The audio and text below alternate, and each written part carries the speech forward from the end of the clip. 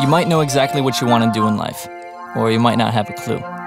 If you know exactly what you want to do, then you should be doing that 24 7. If you have no clue what you want to do, then listen up. What makes you happy? What inspires you? When are you at your best? What do you think about most in the day? Whatever that is, do that. The crazy thing about life is that anything and everything can be a job. If you like something, chances are someone else in the world likes that too, and you can make it into a career. The biggest thing is not to let anyone influence your job, life, or career decisions.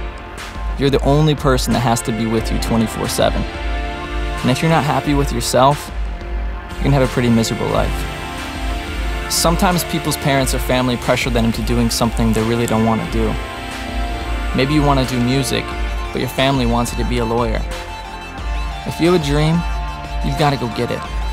That's your dream, not your parents, not your uncles, not your teachers.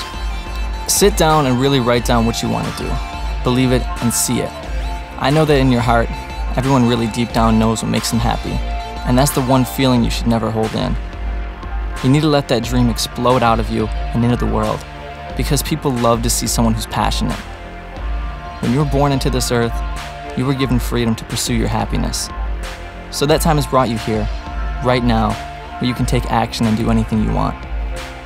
What do you want to do? Life is too short to pursue someone else's dream.